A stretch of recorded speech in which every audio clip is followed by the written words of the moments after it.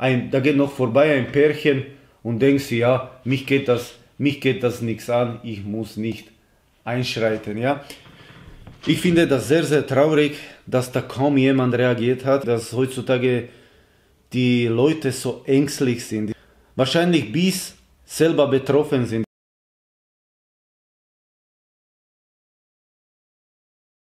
Hallo liebe Kampfkunstfreunde, wie geht es euch? Hier ist wieder euer Marek. Ich habe gerade ein Video zugeschickt bekommen und da habe ich mir gedacht, da muss ich unbedingt, aber unbedingt auf dieses Video reagieren und euch zeigen, wie feige und nicht hilfsbereit viele oder der Großteil der Menschen sind. Ja?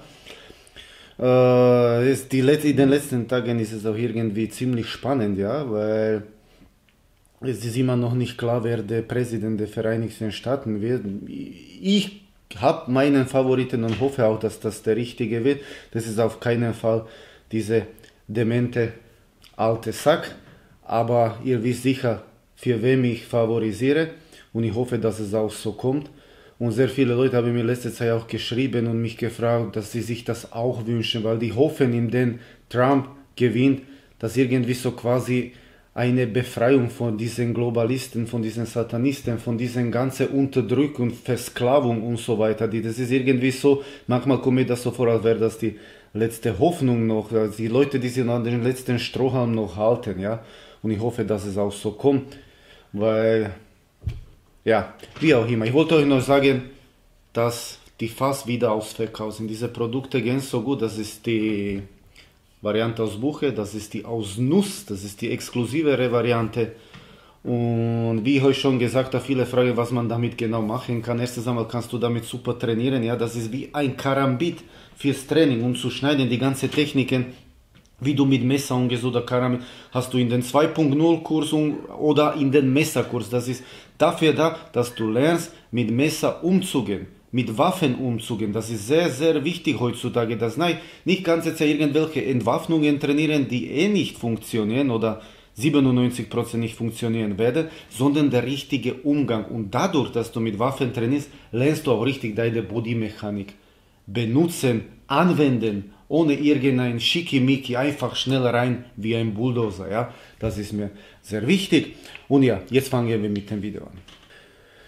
Das heißt, ich, wir schauen uns jetzt zusammen ein äh, paar Videos an. Das ist so ein Experiment, wo ein Mädchen auf der Hauptstraße, nicht irgendwo im Wald oder im Park, auf der Hauptstraße, frequentierte Hauptstraße, äh, wird entführt von irgendeinem Mann, wird sie einfach auf die Seite weggeschleppt, festgehalten, am Mund gepackt und einfach irgendwo in eine dunkle Gasse geschleppt. Und jetzt schaut euch das an, wie die Leute reagieren. Gehen wir einem nach dem anderen. Man dann sagt, wenn du wegschaust, bist du auch nicht besser als diese Monster. Ja?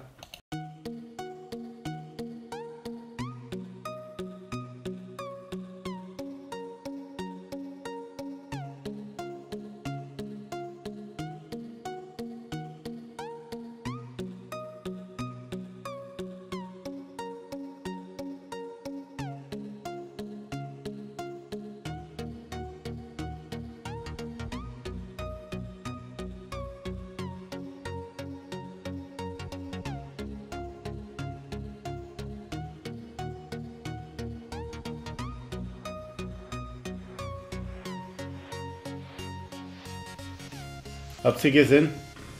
Das erste Video, da ist eine Frau mit Maske in Gegenrichtung gekommen. Da kommt ein Mann, greift das Kind und läuft in diese dunkle Gasse oder wie auch immer rein. Die Frau schaut nur ganz wenig und so total unbeeindruckt geht sie einfach weiter. Hauptsache, sie hat sich von der Corona geschützt und trägt sie draußen auf der Straße Maske. Dass da irgendein Kind entführt von irgendeinem scheiß Pädophilen das ist ihr egal, ja. Jetzt gehen wir weiter. War das regt mich so auf immer, wenn ich sowas sehe. Ach ja, Leute, falls ihr fragt, warum ich eine Kappe habe, ich kann meine andere Kappe nicht finden wieder und mir stehen die Haare so komisch und deshalb habe ich diese Winterkappe angezogen. Das habe ich noch früher getragen, noch wie ich unterrichtet habe in Österreich. Ja. Das habe ich von meinem Chefinstruktor aus England bekommen. Aber ja, jetzt schauen wir uns das weiter an. Jetzt sehen wir, dass es wieder genau dasselbe macht, dass in dem Bild zwei Männer und zwei Frauen. Und schaut euch diese einer noch, wie, wie, wie bescheuert der noch grinst, als wäre das, als, oh, Wahnsinn, schaut euch das an. Schau, jetzt nimmt er den Jungen, der einer mit dem Handy, der schaut nur so, aber ist egal, der Telefon ist wichtiger. Und schaut jetzt den Typen mit der Brille, diese bescheuerte. Oh, ich, kann mich, ich will mich gar nicht ausdrücken so öffentlich, was ich davon halte.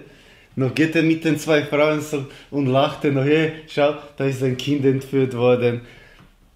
Ich weiß nicht, Leute, checkt sie überhaupt, was da passiert? Manchmal ist mir das wie, als wäre ich in irgendeinem falschen Film. Ich habe in meinem Leben schon einigen Leuten geholfen und dadurch habe ich mich auch in Schwierigkeiten bzw. in Gefahr irgendwie hineingegeben. Ja, durch, dadurch, dass ich nicht weggeschaut habe und habe ich anderen Leuten geholfen, vor allem Frauen, ja.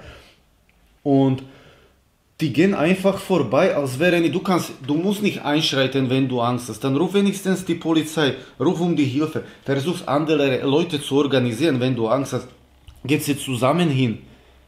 Weil genau dasselbe könnte deinem Kind passieren. Und dann wärst du auch froh, wenn nicht alle wegschauen und das noch lustig finden, sondern dass sie helfen und die Zivilcourage zeigen. Ja? Zivilcourage wird groß geschrieben, klein betrieben, wie ich schon oft gesagt habe. Ja, jetzt schauen wir weiter.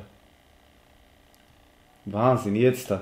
Zum Beispiel, dieser Junge schaut wieder nur ins Handy. Dieser Typ da mit der roten Tasche, der schaut nur kurz hin und geht er aber weiter. Aber danach versucht er, auch das ist Hilfe, danach versucht er wenigstens den Jungen mit dem Handy zu sagen, er soll einmal hingehen und schauen, was sich da tut. Da geht noch vorbei ein, da geht noch vorbei ein Pärchen und denkst, ja, mich geht das, mich geht das nichts an, ich muss nicht einschreiten. Ja?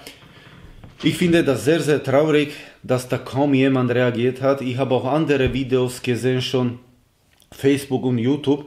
Da werden auch so Frauen einfach in den Koffer angeschleppt und kaum irgendeiner reagiert, bis auf ein paar Ausnahmen. Leider sind das sehr wenige Ausnahmen und das finde ich sehr traurig, dass heutzutage die Leute so ängstlich sind. Die, sind, die haben Angst vor allem, Angst einzuschreiten, Angst zu helfen, egal wie, sogar Angst wahrscheinlich Handy zu nehmen und einzuschreiten, ja. Wahrscheinlich bis selber betroffen sind. Das ist so wie bei dieser ganzen Politik, nehme ich an. Ja, solange die nicht, erst dann werden es wahrscheinlich die Leute endlich aufwachen und merken, dass sie von vorne und hinten verarscht werden, wenn das schon richtig an das eigene Geldbeutel geht, ja. Und wenn schon da auch die, die, die Freiheiten so richtig so eingeschränkt werden, dass es wahrscheinlich die Leute schon in den Wohnungen kontrolliert werden, ob du auch in der, in der Wohnung oder unter der Dusche Maske trägst oder ich weiß, was ich will, in welche Richtung sich das noch steigert. Erst dann wahrscheinlich wachen die Leute obwohl ich glaube nicht einmal dann. Manche Leute sind so geblendet, solche Schläfer, solche Schafe und Marionetten, dass es gar nicht mehr normal ist, ja. Aber trotzdem, Gott sei Dank gibt es noch Leute, die auch Rückgrat haben, die Charakter haben und die sich trauen, auch anderen Menschen zu helfen und schauen die nicht weg. In dieser ganzen Zeit, wo du jetzt nicht trainieren gehen kannst in einer Schule oder wie auch immer, trainiert sie auch zu Hause. Man merkt, es wird irgendwie immer bescheuerter, die Leute werden immer aggressiver, bewaffnen sich und so weiter. Trainiert, trainiert, trainiert, wenigstens mach Liegestütze, trainier am Samstag. Du hast die Online-Kurse jetzt sogar auch als Abo, hast du über 20 Stunden Trainingsmöglichkeiten und alles Mögliche dann auch in monatlichen äh, Dings kannst das abzahlen, ja. Oder nimmst du einfach nur den Messerkurs oder den 2.0, das habt ihr das Wichtigste und ist es sehr günstig, ja. Mehr kann ich euch auch nicht anbieten. Für nächstes Jahr haben sich schon sehr viele Leute fürs private Training angemeldet, einige jetzt sogar für mehr als einen Monat und so weiter. Das ist schon ein Wahnsinn. Da hat man selbstverständlich auch mehr Zeit fürs Training, Schießen gehen, Wandern gehen, was auch immer. Man kann alles machen, okay? Ich wünsche euch in diesem Sinne, Leute, alles, alles Liebe. Bleibt stark, bleibt gesund, passt auf euch auf, ja? Und schaut auch ein bisschen auf die Umgebung, ja? Ciao, ciao.